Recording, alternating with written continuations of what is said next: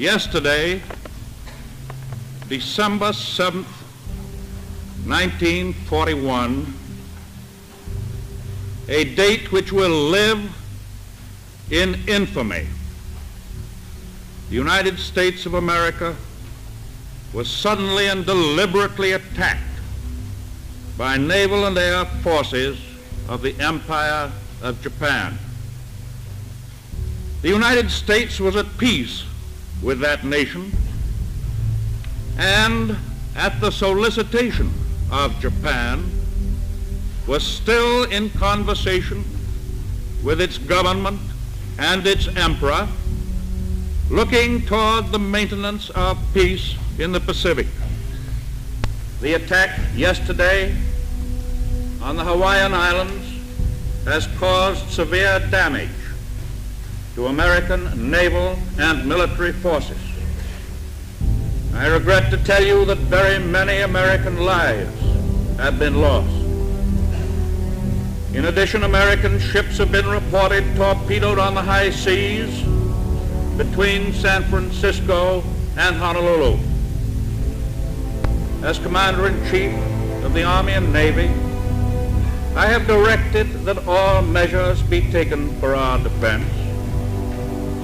But always will our whole nation remember the character of the onslaught against us.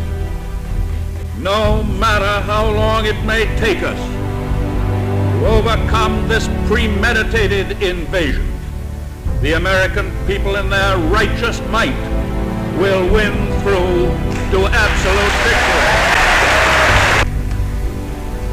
I believe that I interpret the will of the Congress and of the people when I assert that we will not only defend ourselves to the uttermost, but will make it very certain that this form of treachery shall never again endanger us. Hostilities exist. There is no blinking at the fact that our people, our territory, and our interests are in grave danger. With confidence in our armed forces, with the unbounding determination of our people, we will gain the inevitable triumph, so help us God.